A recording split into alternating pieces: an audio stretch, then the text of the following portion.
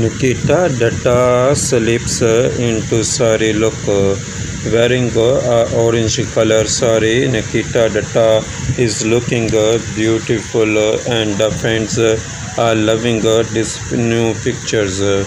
Nikita Dutta is one of the talented heroines in Hindi cinema. She is one of the successful heroines as well.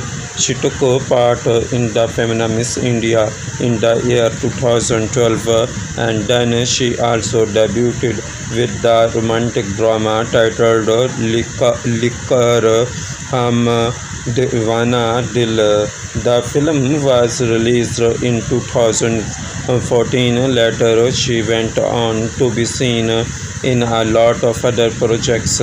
Nikita Dutta is active on social media and she recently shared some pictures which are going viral now. She captioned them as half flowers, half flowers wearing a uh, orange and orange color sorry Nikita Dutta is looking uh, beautiful uh, and the fans are loving this new pictures on the other hand Nikita Dutta made her television debut with the Dream Girl and achieved recognition with एक ओजे के Ek Ek Ek Duje ke Vaaste later she again made.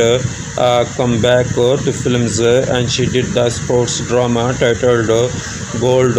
After that, she was seen in the blockbuster uh, uh, Kabir Singh. Uh, she also acted in the film The Big Bull along with the book and even in the web series titled Khaki, the Bihar chapter.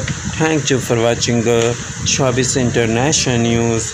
Please subscribe Showbiz International News for updating news and more informations.